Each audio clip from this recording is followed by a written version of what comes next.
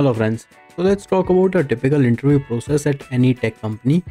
Uh, basically, you can expect anywhere between three to six rounds of interviews, and uh, those interviews are going to be under three different categories. So categories would be uh, first behavioral interview, second would be system design, and third would be technical.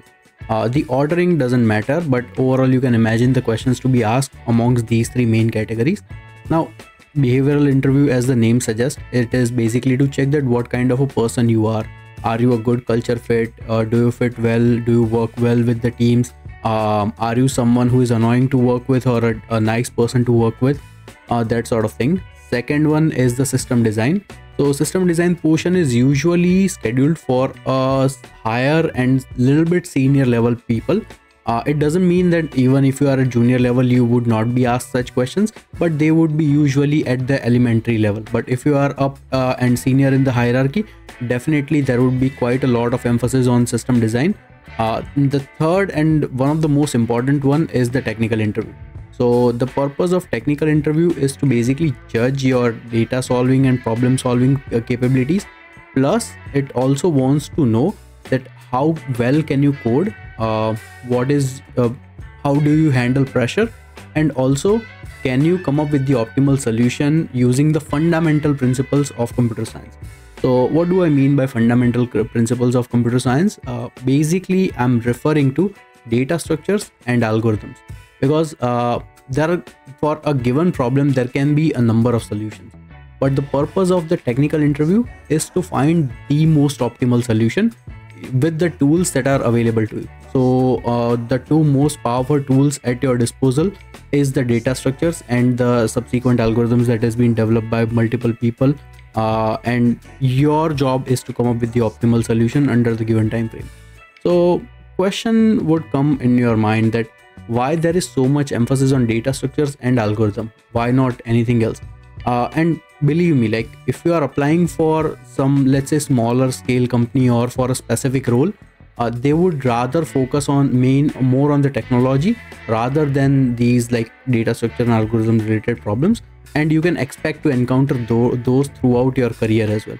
But uh, when i speak about like top tier company or core tech companies they have the most amount of emphasis on the data structure and algorithm related problems. And there is a very clear reason for that. Uh, the reasoning is number one they wants to check you that how well do you perform under pressure. Number two they also wants to know that uh, are you able to come up with the optimal solution for any given problem? Because the thing is many a times these companies like companies such as google facebook amazon microsoft whatever and also a bunch of other like top tier tech companies they don't know what projects are you going to be working on when they hire you. And that is not the case in smaller companies because smaller companies they have very strict definitions uh, and duties defined in the, in their resumes. Uh, typically if you see any job posting of any of these big big companies uh, they would be quite generic in terms of their wording because they usually hire the top talent around the world and then they expect them uh, to throw on various teams various products and then expect them to start building out the best software solutions possible. Like it's quite common in these big companies that you would be working anywhere between like 6 to 10 teams just under the span of maybe like uh, 3 to 4 years. Meanwhile at some other more conventional companies you might stick to the same team throughout your career in some cases. So that's why they hire someone who can basically come up with the optimal solution. Plus uh, hiring someone they are they are obviously paying the compensation sometimes in the ballpark range of uh, like 300 400000 dollars something like that. That's a huge amount of money uh, for like a 25 year old or even a 30 year old so that's why they wants to make sure that they are getting the best efficiency out of their investment. Because from their perspective you are a great asset and an investment and they wants to make sure to have a person who is well vetted by various people. So that's why there is so much emphasis on uh, having these rigorous interviews and uh, they go on for uh, many times like three to six months as well in some companies like google. Uh, plus there is one more reasoning i can find for having such an emphasis on data structure and algorithm related problems and that is to see that how well can you handle the pressure and what is your thinking process because typically when you are solving these kinds of problems you are not just giving out the solutions. Basically you are understanding the problem. You are asking clarifying questions to to your interviewer or trying to understand more about the scenario. Plus on top of that you are also coming up with your thought process that okay uh, this should be the elementary approach. Now this is how i can do it better. Uh, this these are the trade-offs between choosing one data structure over the other data structure uh, this would be the time complexity this would be the space complexity is my solution going to be scalable for hundreds of thousands of people or will it break under uh, such humongous pressure? So these are all the questions that the companies wants to check from the candidates that can they come up with like the most optimal thinking and bet- better approach. So these are the reasoning for these technical interviews. On top of that technical interviews. They are related to data structures and algorithms but the problem statements in themselves they are not designed to have explicit wording like that. Typically they are going to ask you questions that are rather rudimentary and of real life scenario. Because if you see any tech companies that, is what they are trying to do. They are trying to mimic a real world scenario and try to provide solutions for that. Uh, and same thing they are going to do in the interviews as well so if i have to give you an example so the question i'm about to show you would be one of the typical type of questions that you can expect in your interview. So your interviewer is going to be something like this that let's say that you are currently stranded in an island and in that island uh, there are 51 people on this island. Now amongst those 51 people 50 people has the exact same weight. And it is your job to determine that which is the one person who has slightly higher weight. So the weight difference is not so much. It's very just a slightly higher. But all of these 50 people they have the exact same weight. And our job is to determine how we are going to do it. So this would be one of the typical like technical interview uh, kind of a questions. Like this is a very easy one but i'm just giving you for the sake of example so in this case you are also told that uh, you are given a weight scale. And in this scale you can make the measurements and you can find out that which person has how much weight. And you can note down all the results whatever you want to do with that. Now there is also one more condition on the scale that at one point at at one time you can put as many people as you want. So you can imagine the scale to be like a huge scale where every single person even if like all 51 people wants to stand together they can also stand together. So how would you solve this problem? So first thing that comes to your mind is that uh, most basic approach that you are going to have every single person stand in one line and go in front of the scale and then you are going to measure every single person one by one. And in the end you would be able to find out that which person weighs slightly higher than all the other person. And in this case you find this person x to weight slightly higher and you return your answer. So your solution did give the perfect answer. That makes sense. Yeah no issues with that. Was this the most efficient solution? Of course not. What could be a better approach where you can uh, make some adjustments?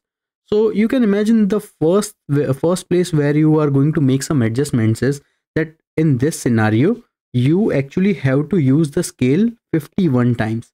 So can you bring this number down? And uh, yes of course we can bring this number down. Uh, so the logical solution in this case would be that you actually start creating three groups. Now for these three groups what you can do is you can create one group of 25 people. You can create another group of 25 people and the third group will only have one single person left out you can have these done at randomly. Uh, so you are just um, following the procedure. Now what you would do is you would take these 25 people put them on a scale. Then you would take the second 25 people put them on the scale as well.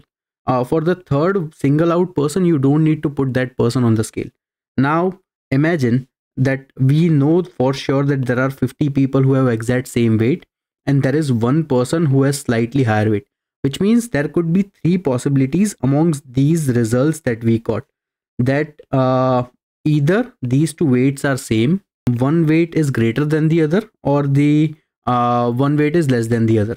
So amongst these three possibilities you can determine so okay let's say for the first possibility if you find that both the weights are equal to each other which means by the sheer luck you found out the perfect group which all 50 people has the exact same weight and so that's why their combined weight is going to be same. So the person who was odd one out would actually be the person with the least amount or like slightly higher weight. Second uh, consider is consideration is that let's say that if this group has higher weight.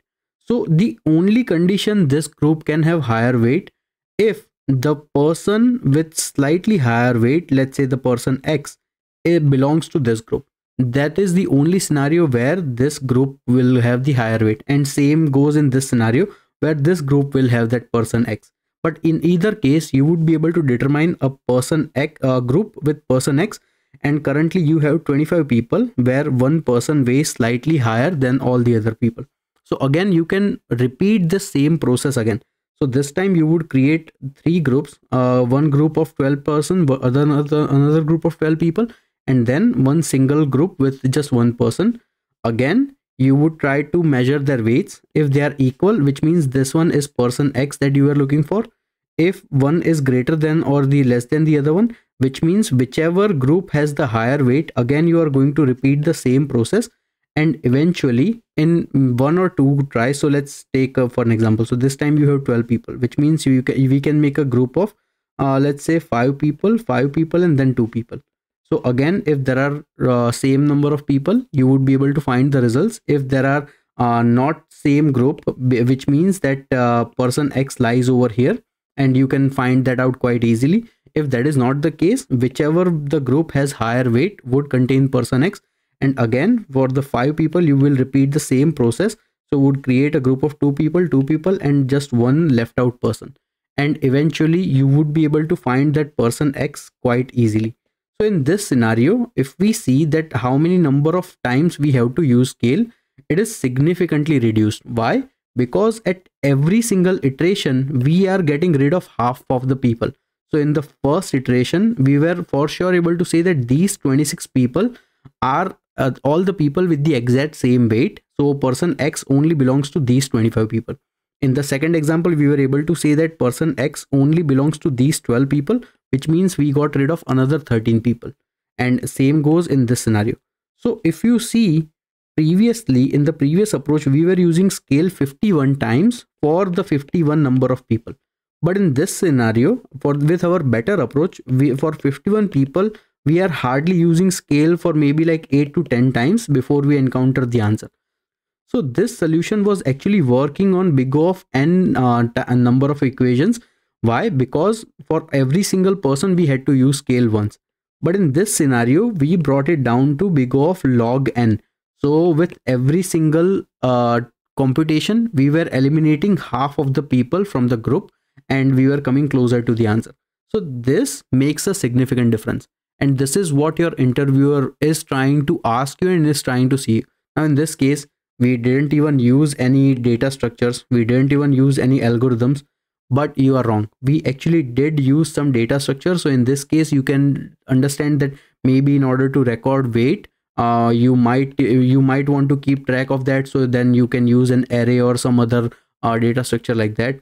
Uh, in terms of algorithm we were actually using a binary search algorithm uh, where every single time we were dividing half of the uh, inputs and eliminating them and then coming up with the solution. So see, this is what kind of questions you can expect in your interview and you need to have a sound knowledge of not only data structures and algorithms but also your problem solving abilities and this is why uh, preparing for technical interviews is a huge task because you need to have a very sound knowledge of these two on top of that you need problem solving uh, abilities uh, you need to have great communication skills. You need to show that what you are thinking or what you are communicating. Plus you need to know that what are the trade-offs you are going to make. So that's why not only technical interviews are a great way to understand a person but also it builds you a better programmer because when you are going through that this rigorous preparation you are going to definitely learn quite a lot quite a lot of things and it can be great for your career as well. Now soon uh, the purpose of making this video is that uh, i am actually creating an entire guide on everything related to technical interviews and i'm probably going to post that very soon. It it will be around somewhere around uh 4 to 6 hours of course and uh, i want everyone to have the tools so that they can prepare better. And this is just a, a teaser of the actual course that is about to come. So uh, hope you find it useful and let me know what else can i do. Uh, thank you so much for that